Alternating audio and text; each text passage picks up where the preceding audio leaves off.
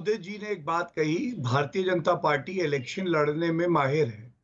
तो मैं भी एक बात कहूँगा मुदित जी कांग्रेस भी खानदानी चोरों की पार्टी है भ्रष्टाचार करने में माहिर है। और राहुल गांधी ने तो 35-40 चुनाव कांग्रेस को हराए हैं। अगर कुछ सीखना चाहते हैं तो कृपया करके पाठशाला में भेज दीजिए।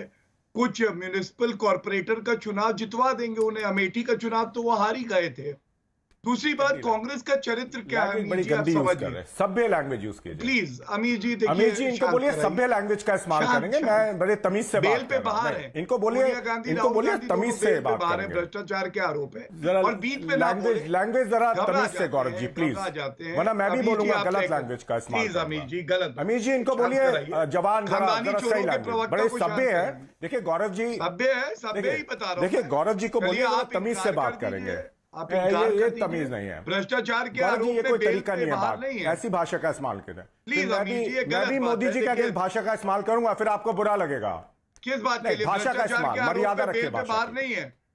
बता दीजिए चिल्लाने क्यों मुदित मुदित मुदित मुदित मेरा मुदित। आपको ऑब्जेक्शन भाषा पे आप जवाब आप जवाब दे दीजिएगा उनकी बात का उनका वो स्काइप हाँ, पर है गौरव भाटिया स्काइप पे है उनको ऑडियो ऑलरेडी कमज़ोर आ रहा है उनकी बात उनकी उनकी बात जाने दीजिए। मेरा निवेदन है आपसे मोदी जी।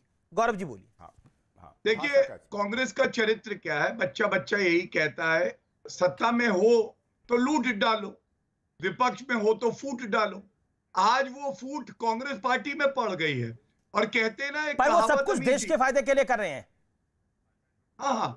वो जो सीताराम केसरी की लंगोट उतार दी गई लुंगी उनकी खोल दी गई पार्टी कार्यालय से उठा के टांगों से बाहर फेंका था वो भी देश हित में ही था इनके हिसाब से।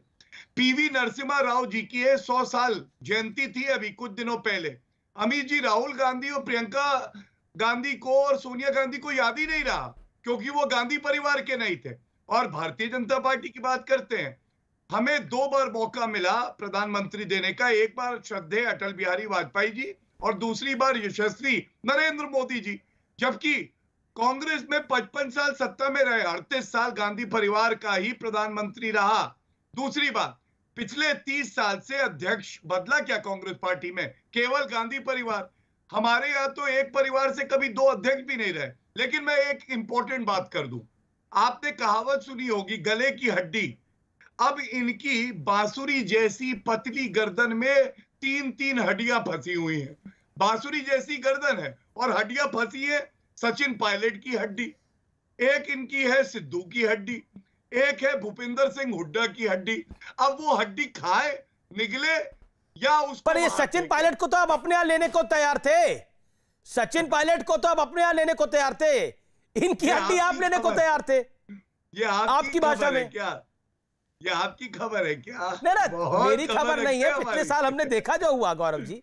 चलिए मैं अपनी बात पूरी कर लू। प्लीज़ अमीर जी।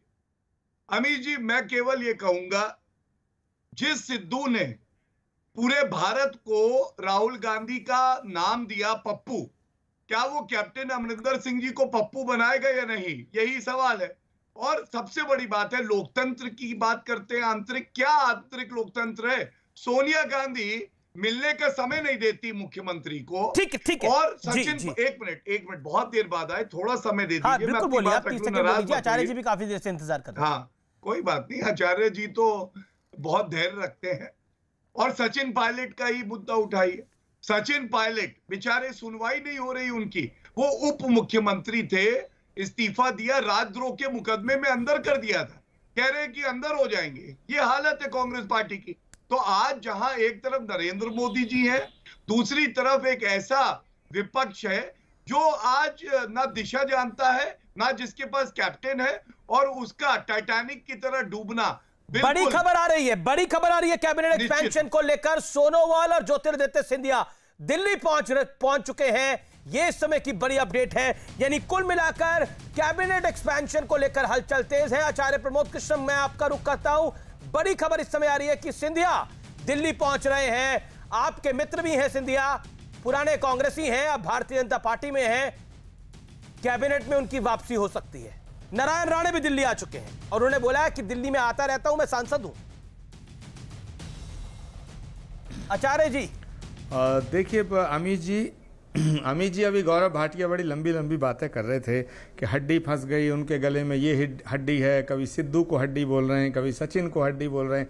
मैं तो कह रहा हूँ, हमारे यहाँ सिंधिया जी हड्डी थे, वो आप